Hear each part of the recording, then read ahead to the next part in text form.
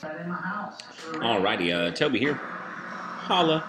Um, I'm always out looking for the newest and best apps to kind of make you know things on the internet useful for teachers, parents, kids, and whatnot. Um, found this one right here called Hashtag. Let me go back so you can see the icon one more time. Hashtag. What it is is basically a really simple uh, Twitter app. This would be a really great app to kind of start showing someone how Twitter works and what to use Twitter for. Basically, you go through and you can follow an interest on Twitter. You type in what you're interested in, and it'll pull up all the tweets that have that as the hashtag. For example, um, let's do autism. It's going to pull up every tweet from Twitter and from Instagram that have autism as a hashtag, so you can see what people are saying about autism.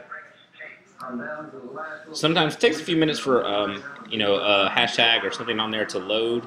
Um, here's one that I follow quite often called EdChat. It's a really good hashtag for teachers.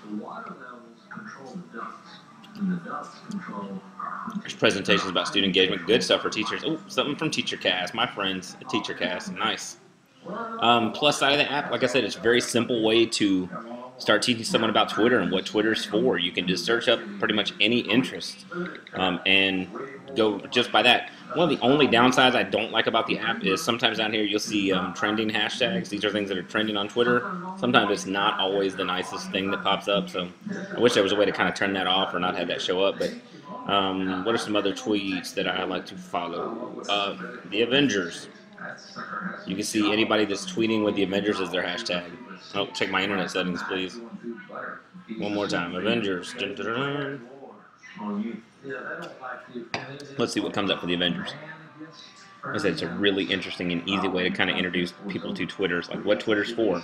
You got a math teacher, you can pull up math, you know, things about math. You got science, you can pull up hashtag for science. It's a good way to teach people about Twitter and what it's for, and to kind of teach them about how to use hashtags all at the same time. Let's look for math.